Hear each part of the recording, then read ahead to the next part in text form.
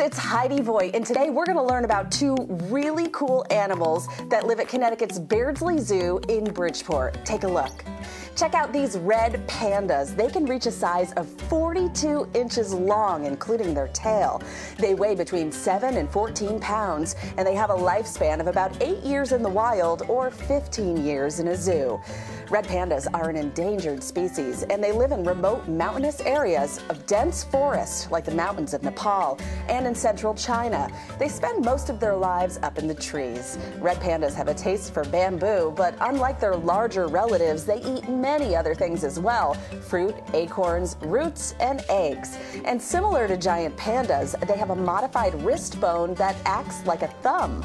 While the red panda's scientific name means fire colored cat, they actually have way more in common with bears and raccoons. Their soft, dense fur covers their entire body, including the soles of their feet. They use those long, bushy tails to balance when they're up in the trees and also to cover themselves in winter. Another animal that lives at the Beardsley Zoo is the Amur tiger, and the zoo has two of them, Rika and Zaya.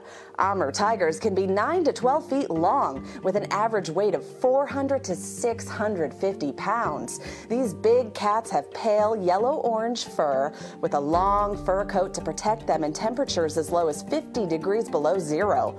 All tigers have pale blackish stripes with a distinct pattern on their face that's as unique as a fingerprint.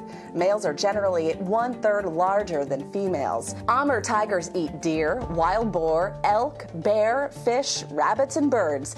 They're a critically endangered subspecies of tiger, but all tigers are endangered and protected worldwide. They live about 12 to 14 years in the wild and up to 25 years in captivity.